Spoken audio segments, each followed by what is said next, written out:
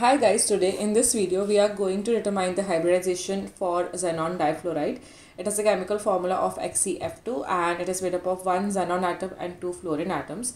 To determine its hybridization, we will first look at its Lewis structure. So here is a Lewis structure of xenon difluoride in which it is forming a single bond with both these fluorine atoms and there are three lone pairs of electrons. So as you can see here, for accommodating 5 pairs of electrons, it needs to have 5 hybrid orbitals. So xenon has the electron configuration of 5s2 5p6 in its ground state.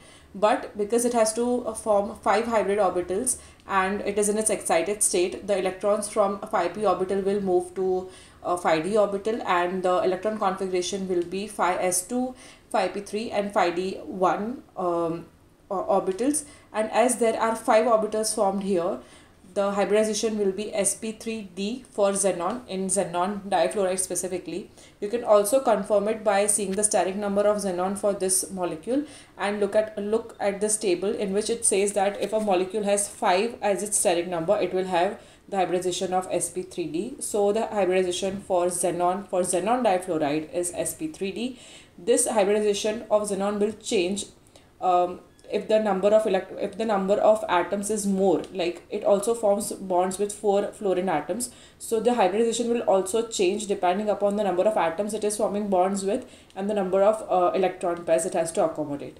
For more videos on molecular geometry lewis structure polarity and hybridization of the molecule subscribe to our channel. And thank you for watching